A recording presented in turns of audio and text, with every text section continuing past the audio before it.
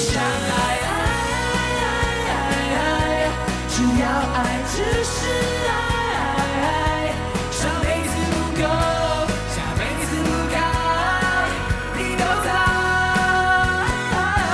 姑姑受邀担任第五十二届广播金钟奖入围名单公布记者会的演唱嘉宾，一出场帅度就直接破表，但在上台前 stand by 时的环境状况，竟然意外让他搭上了正行的话题。又停电了是是？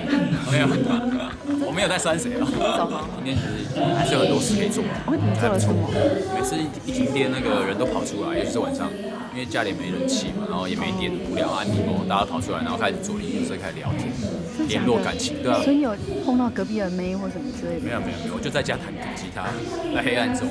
如果停电还能够遇见姑姑，没冷气吹，应该也超幸福吧？姑姑不仅为大家带来精彩的表演，更透露了最新的计划。最近有一个新的单曲会会上线，叫做《生死英雄》，晋级吧闪电，嗯，对，然后的的片头，然后那是我我前阵子在很忙碌的时候写完，哦，整个制作期都是在很忙碌的状态下完成。我我其实也有做两个版本，那所以现在给大家听到的是戏剧版，戏剧版、那之后会出的是别的版本？自，己版，在自己的脸书上播是不是？相信音乐播。